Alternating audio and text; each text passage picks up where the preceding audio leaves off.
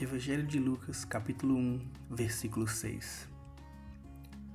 O Evangelho de Lucas se dá o trabalho de nos contar a história de Zacarias e Isabel, um casal muito importante para a história da redenção. Eles são os pais de João Batista, o homem que prepara o caminho para Jesus e realiza o seu batismo.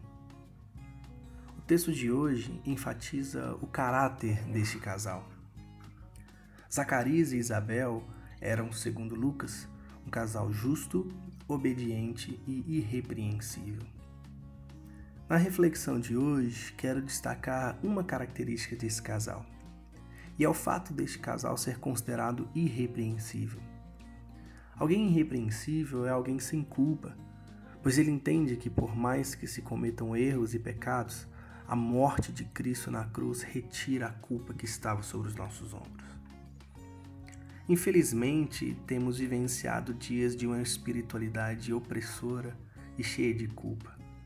Esse tipo de espiritualidade gera em nossa caminhada de fé um peso e julgo pesado que em nada se compara à proposta do Evangelho de Jesus. Eu gosto da forma que a Bíblia, a mensagem, traduz essa característica.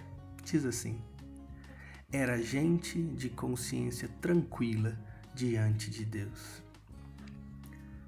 que você e eu possamos viver como Zacarias e Isabel, com a consciência tranquila e leve diante de Deus, sabendo que não existe nenhuma culpa sobre nós, pois nenhuma condenação há para aqueles que estão em Cristo.